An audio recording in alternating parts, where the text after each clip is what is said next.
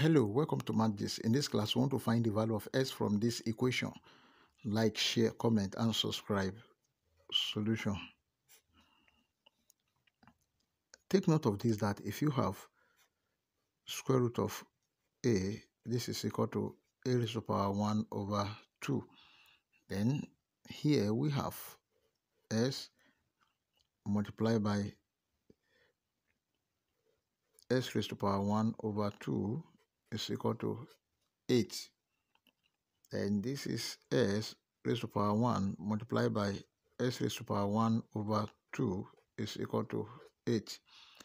Take note of this that if you have a raised to power n multiplied by a raised to power m, this is equal to a raised to power n plus m. This is s raised to power 1 plus 1 over 2 is equal to 8. s raised to power LCM is 2. Then this is 2 plus 1 is equal to 8. s raised to power 3 over 2 is equal to 8. Let's take the power of both sides by 2 over 3 that is s raised to power 3 over 2 to the power of 2 over 3 is equal to 8 to the power of 2 over 3. Then from this, a raised to power n to the power of m is equal to a raised to power n m. So here this will cancel this and these two will cancel these two.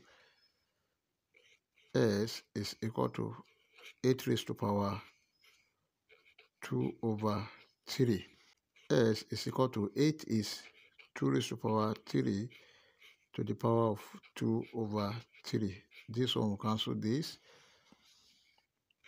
S is equal to 2 raised to power 2 then s is equal to 4. This is the final answer. Let's check to confirm if our answer is right or wrong. To check, we have the given equation s square root of s is equal to 8 when s is equal to 4 this is 4 square root of 4 must be equal to 8. 4 multiplied by square root of 4 is 2. This is equal to 8. Therefore, the left hand side 8 is equal to 8. The right hand side which satisfy the given equation at s is equal to 4. Before you leave, like, share, comment, and subscribe. Thank you. Bye-bye.